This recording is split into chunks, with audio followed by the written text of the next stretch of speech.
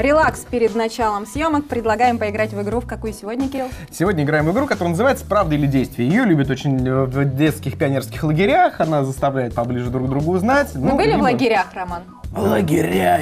Две смены подряд.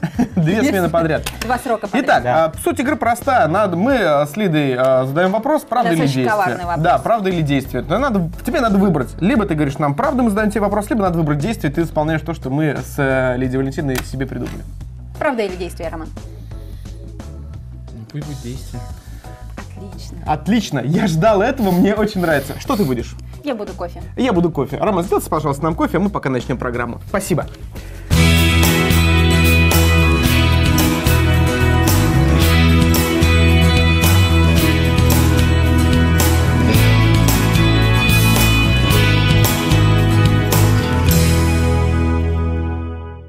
В эту игру надо играть почаще, правда, Кирилл? Совершенно с тобой согласен. Хорошая игра. Сегодня в День радио мы с вами говорим о независимой журналистике. В эфире программа «Соседский Wi-Fi». С вами Лидия Шулаева и Кирилл Васенин. Привет! Всем привет, привет. Я живу в Сарове два года, и одна вещь меня удручает из раза в раз. Например? К праздникам этот город не украшают от слова совсем. Вот что в Новый год э, ничего нет, кроме э, редких-редких гирлянд, что на носу у нас День Победы. В прошлом году, кроме одной растяжки на проспекте Мира, я ничего не видела. В этом году тоже. Этот контраст, он бросается в глаза. Выезжаешь в этот же Арзамас, в Дивеево, недалеко от Ну. Сарова, и там эти растяжки, а, билборды, да, вот с а, георгиевской лентой, а, возможно, с какими-то а, фо- фотографиями солдат, с тех солдат Победы. У нас ничего нет. При этом, насколько, Кирилл, ты помнишь, Вот я тебе хотел об этом 100% сказать, да. социально. Куча а, рекламных плакатов, которые, вот этих баннеров, которые а, выиграли конкурс под, роз- по- под лозунгом а, «Социально 100%». И на них могла бы появиться а, какая-то праздничная атрибутика. Вот ты Но- знаешь схему, по которой вот это все появляется? То есть э, от какого...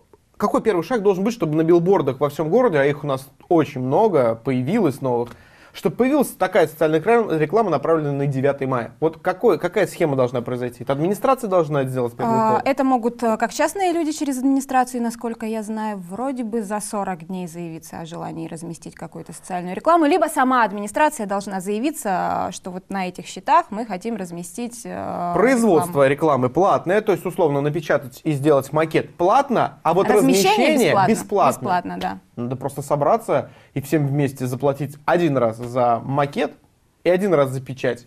И повесить в нужном для тебя месте. Причем, насколько я, изна- насколько я понимаю, что можно, в принципе, выбрать еще и место, куда повесить. Да, потому что 100% социально. Ну а пока у нас есть наш плакат на проспекте Мира. Это даже не плакат, это растяжка, которая Растяжка. сначала к Дню атомщика всех поздравляет, потом с 1 мая, потом с Новым годом, ну, может быть, в другой позиции, но как бы там за Главное, этим успе- а главное успеть менять. Это вспомни кинотеатр России еще в середине апреля поздравлял нам нас с Новым годом, но теперь сменил на нейтральное с праздником. Уместно каждый день. И, кстати, Кирилл, что касается украшения города и прочей атрибутики, тут надо быть крайне внимательным. Опять наш славный Нижний Новгород прошумел на всю Россию прекрасный. Потому что это имеет смысл, да, прекрасными вот как этими это выглядит.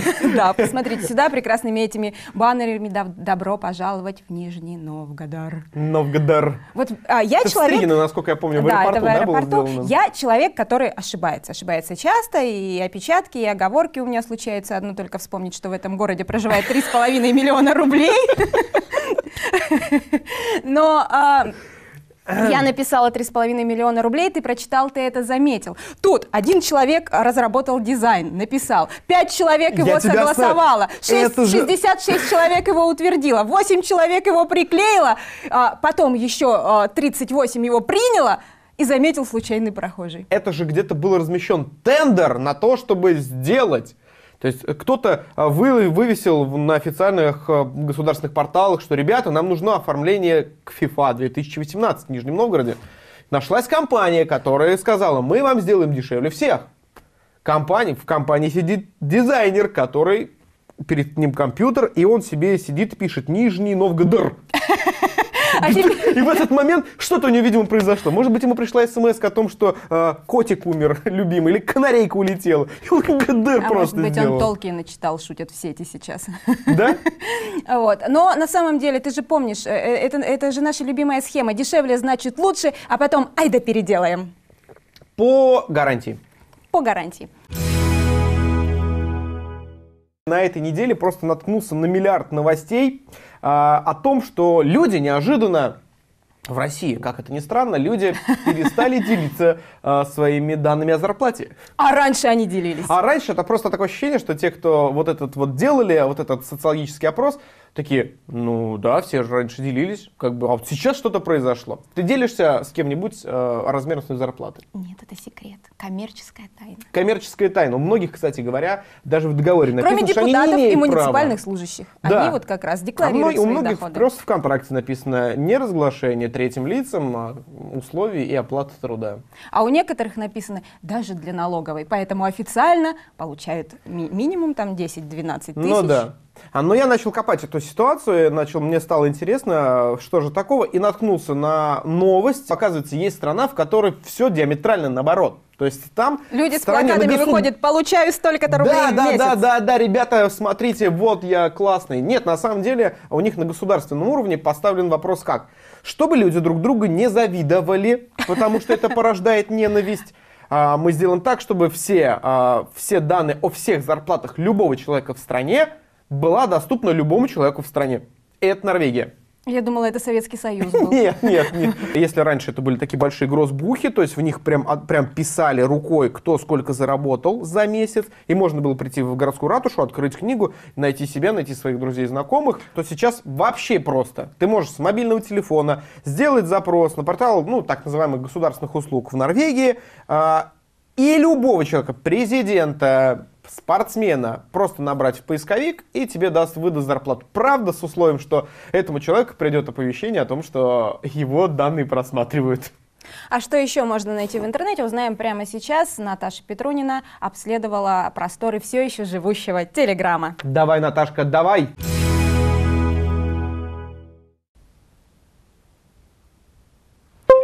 Прошло уже три недели с момента официальной блокировки Telegram, но всем Роскомнадзором назло мессенджер продолжает радовать свою постоянно растущую аудиторию. Впрочем, даже при всех стараниях Дурова и его команды у многих пользователей до сих пор случаются сбои в работе Telegram. На помощь пострадавшим не пришла, а прилетела настоящая супер-женщина Наталья Тимакова. По совместительству, кстати, пресс-секретарь Дмитрия Медведева. В сети уже несколько дней активно обсуждают новости о том, что даже они не только знают как, но и успешно обходят блокировки неугодного телеграмма. мусорок, мишень. Алло? Да. Да, это я. Да, поняла. Да, хорошо. Как нам только что сообщили в сети, никогда не появлялся вот этот скриншот с комментариями Натальи Тимаковой. Как сообщает нам канал Медиаликс, 23 апреля Роскомнадзор оштрафовал интернет-газету «Знак» за публикацию видео, содержащего нецензурные слова и выражения. Позднее РКН прислал протокол, где перечислил 5 матерных слов и их производные, которые нельзя писать или произносить в СМИ. За частичную цензуру при помощи звездочек, линий или любых других знаков также полагается штраф, а затем и блокировка. По понятным причинам мы не можем озвучить весь список. Вот блондинка безрукая. Уверена, вы и сами сможете догадаться, о каких словах идет речь. По данным канала 360 ТВ, всеми любимый мультик про очаровательную свинку Пеппу внезапно оказался под запретом в Китае. А все из-за того, что многие родители посчитали, что мультсериал формирует у мальчиков и девочек неправильные представления о дружбе и обществе и вообще ведет несоответствующий общепринятой морали образ жизни. Такая вот Пеппа свинья. Ваш мир никогда не будет прежним. На канале Медиаликс появилась шокирующая новость. Официальный аккаунт шведского правительства в Твиттере рассказал своим подписчикам, что продающиеся в магазине Икеи и признанные национальным блюдом Швеции фрикадельки на самом деле сделаны по рецепту, который король Карл XII привез из Турции в начале 18 века. Вопросы подписчиков, как теперь с этим жить, что делать и чем лечить разбитое горькой правдой сердце, шведское правительство оставило без ответа.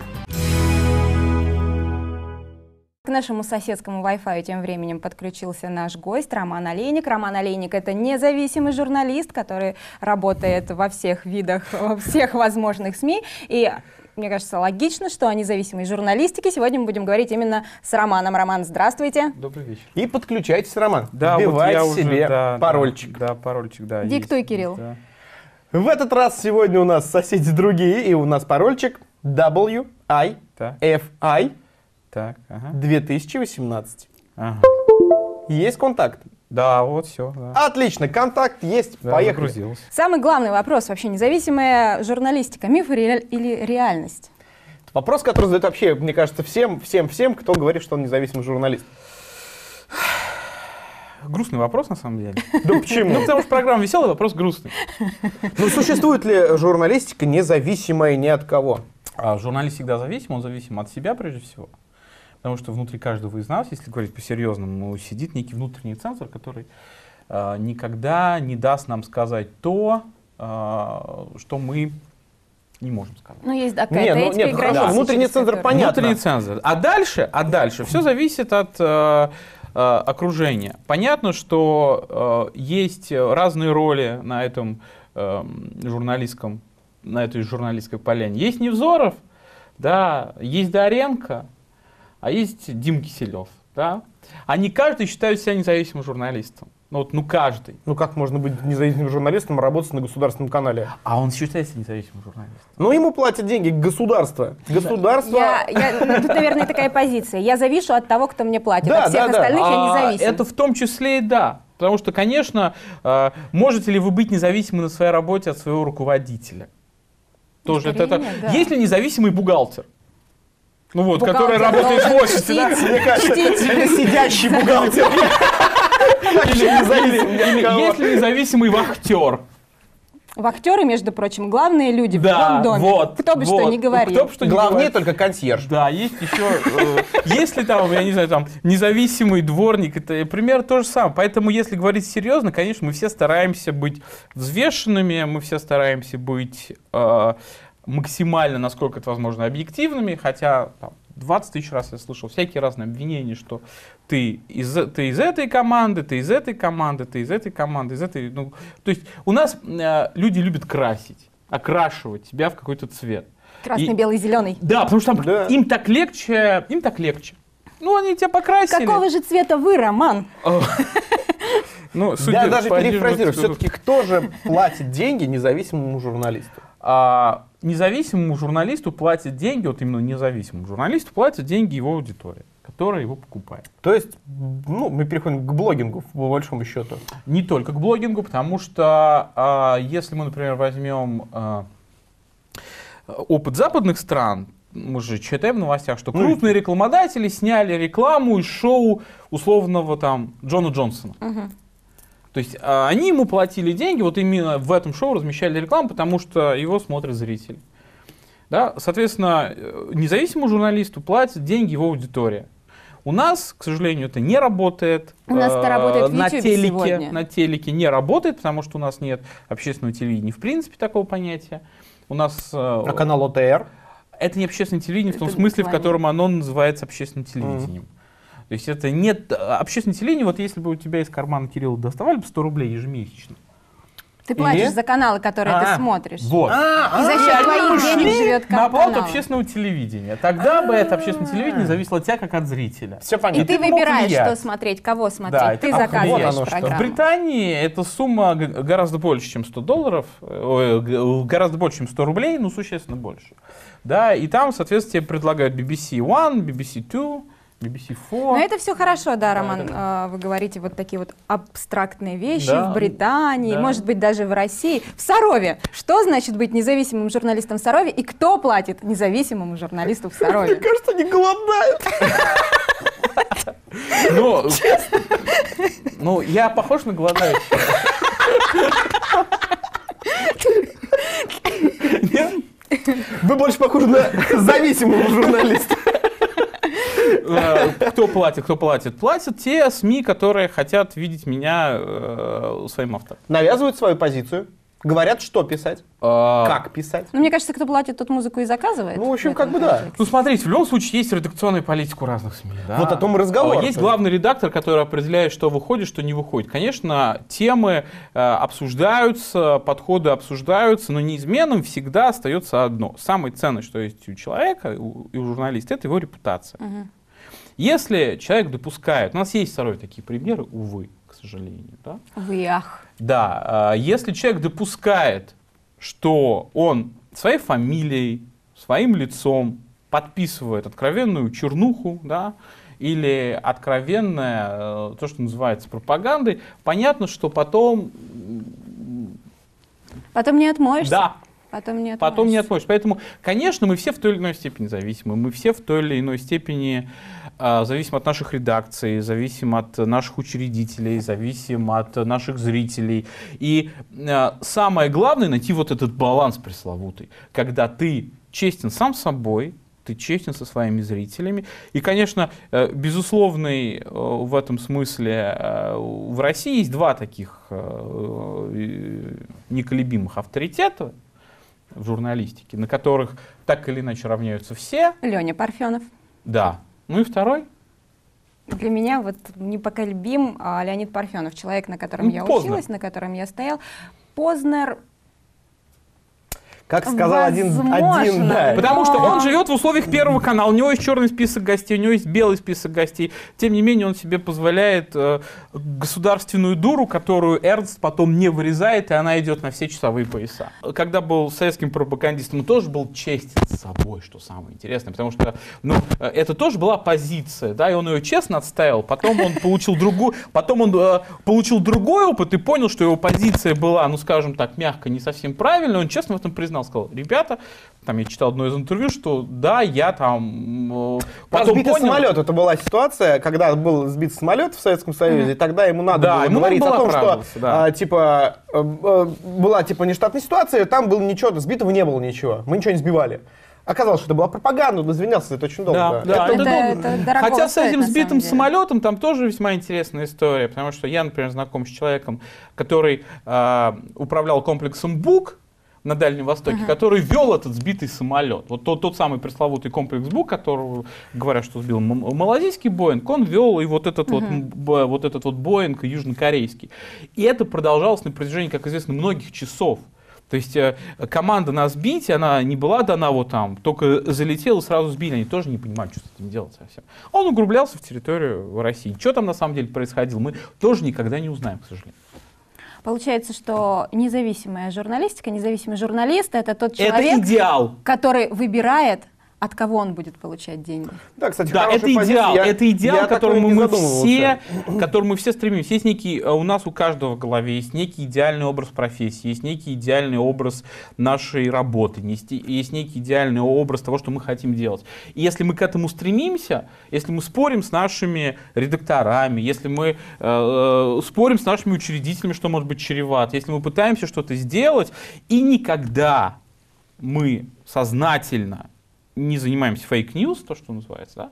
Ведь мы можем выдать э, новость, да? Мы можем даже проверить в трех-четырех источниках, а потом она все равно кажется фейком. Это что значит? Мы не... А телевидение Это еще вообще может зависим? делать по-другому. Телевидение можно Например? нарезать так куски, Можно. что смысл Выдернуть будет из диаметрально контекста, противоположен да-да-да. тому, что было. Поэтому я люблю прямой эфир и не знаю, как вы меня нарежете.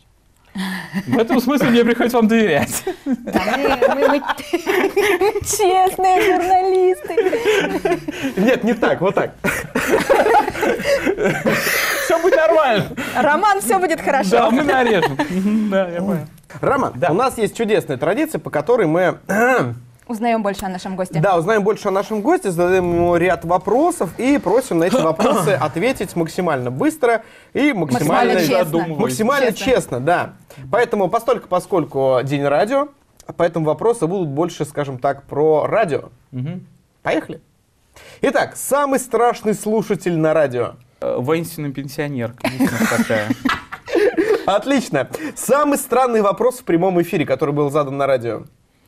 Ну, Позвонил. вопросы нам не, э, нам не задают, нам просто мысли высказывают. У нас есть постоянно Ну, например? Владимир, большой привет Владимиру.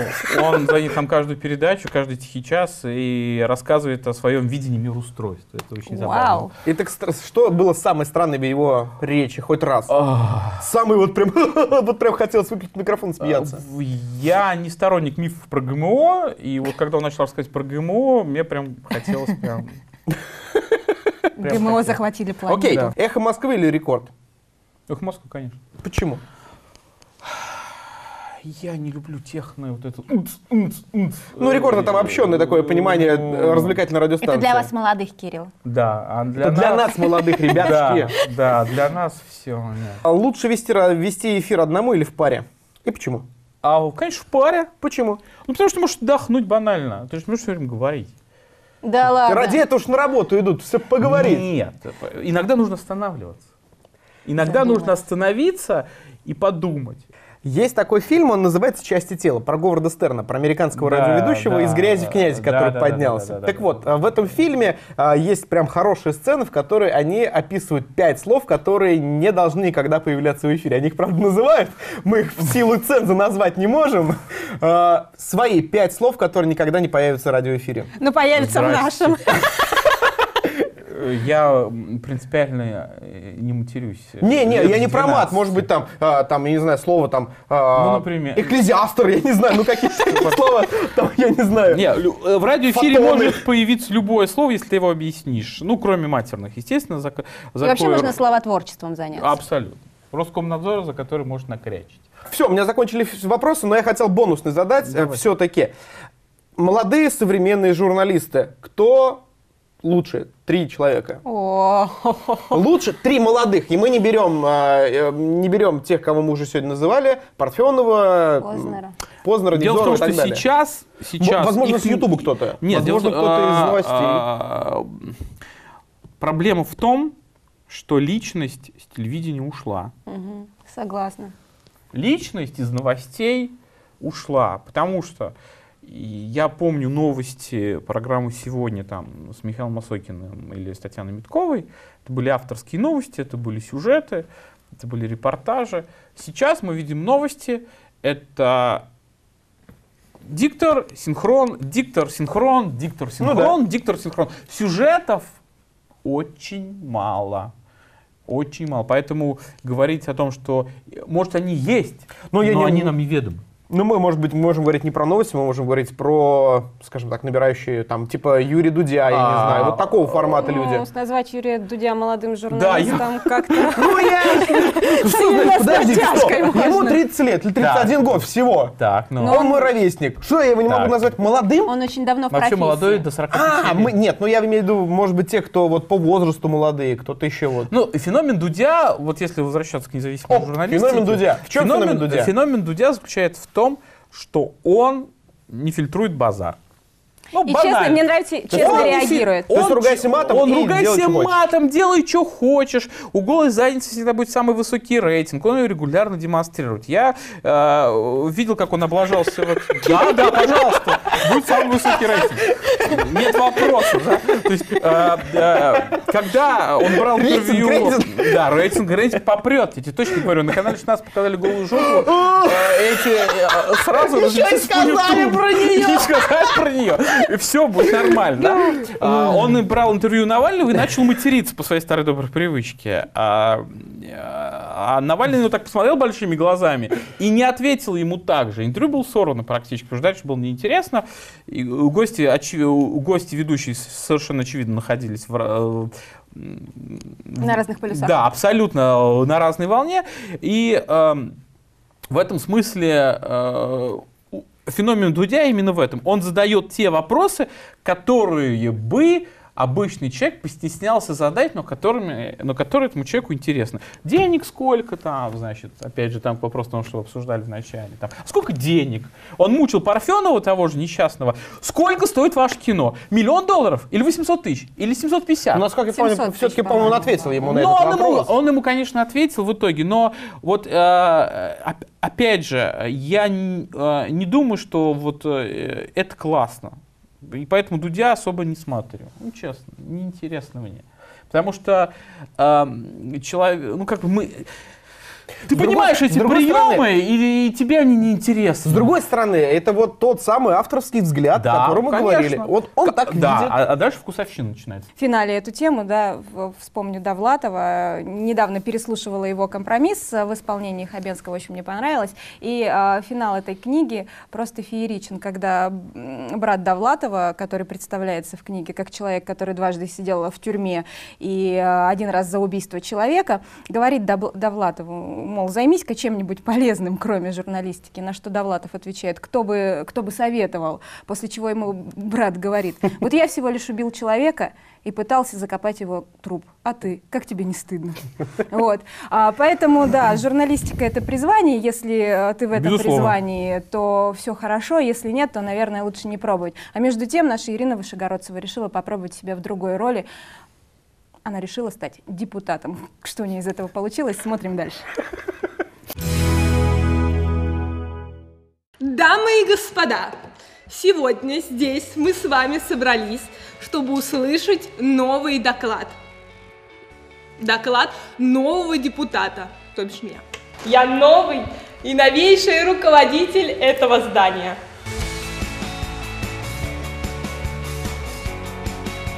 Петр Иванович, расскажите, что вообще за сходка-то? Это очень важное мероприятие. Здесь на самом деле сейчас будут вершиться судьбы города, но грамотно и правильно их могут решить только тем, у кого есть конфетки. Вот те, у кого конфеток нет, у них прям не получится. Поэтому надо срочно всех конфетками снабдить. Скажите мне, что здесь вообще? Почему лю- людей столько много? Что, что все хотят-то? Да перед праздниками решили собраться и решить очень важные вопросы на заседании городской думы. Но обычно перед праздниками собираются на природе. Вот, а почему здесь-то? Мы не очень организованы, мы не очень организованы, чтобы идти на природу. А вы любите сладкое? Люблю. А я тоже люблю. А вот если умеренных количествах. умеренных количеств, а вот если у меня закончатся конфетки, вы мне купите? Еще один. Ну, если вы попросите, то, конечно. Купите мне, пожалуйста, а то у меня уже заканчивается. Хорошо. Ну, держите, пока я вас угощаю, а потом вы меня угостите. Замечательно. Хочу в депутаты пойти. Что мне нужно сделать? Так, сначала вам нужно получить поддержку избирателей. А где мне их взять? Где? В городе. Вы держите вам вот такую вот конфеточку. Я люблю сладкое. Кушайте, Да. все для вас. Все мужчины любят сладкое. А, то есть вот назойливо будете мне доказывать, что я люблю сладкое. Нет, не, не люблю сладкое, нет. Вам придется взять у меня горька. конфетки. Вам придется взять у меня конфетки. Держите, это вам, это вам за меня, потому что я на диете. Мгм. Вот, это... Я тоже, кстати, на диете. Тоже на диете, но вам придется да. съесть мою конфетку. А сложно быть депутатом? В какие-то моменты, да, в какие-то приятно. Прия- А приятно в чем? Ну, когда помогаешь людям, и они тебе выражают за это благодарность, в этом приятно. У меня получится быть депутатом? Получится, Получится? конечно. А Если на вместе чьи- будем работать, получится. А на чей округ мне можно баллотироваться? Э, Ну, любой, который вам понравится. На любой, да? А, а на ваш можно? И на мой можно. Ну зачем же Мне я вас буду не, подсиживать? мне будут приятны такие конкуренты, будем бороться. Ну, Да. Держите, чтобы у вас Спасибо. все было хорошо. Вкусненькие, кушайте. Посоветуйте мне, я тоже хочу стать депутатом. Что мне нужно сделать? В 2020 году я вам помогу стать депутатом. Поможете? Конечно. А на какой округ? Вот, кого мне Выбирайте. подсидеть? Скажите. Я боюсь, что меня потом... Я боюсь, что меня потом а, где-нибудь а, в Я за, темном вас, углу. я за вас заступлюсь. Ой, как мило, спасибо большое. Держите, это Спасибо. вам. Ой. Приходите на мой округ. На ваш округ? Я Конечно. боюсь, что я вас посижу, и мне не получится. Нет, я вам отдам. Отдадите мне, собственно, в руки? А Расскажите, на какой а, округ мне нужно баллотироваться? На какой? На чей? На чей? Можете на мой. На ваш?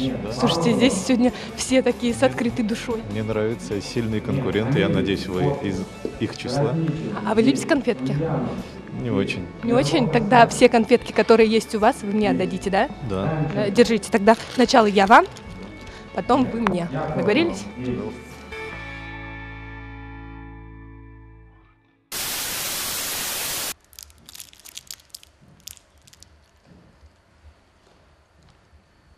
Ты что, снимаешь, что ли? А ну, убери камеру! Убери, убери, убери!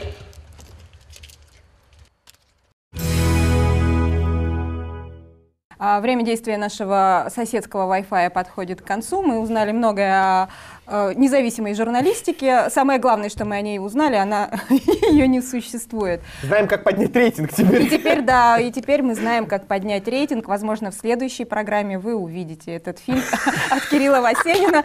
Ну а пока спасибо, что были с нами. Через а, 7 дней мы снова с вами встретимся и обсудим самые интересные, на наш взгляд, события наступающей недели. Пока-пока. Всем всего доброго, пока. До свидания, Роман. А, до свидания, да. До свидания.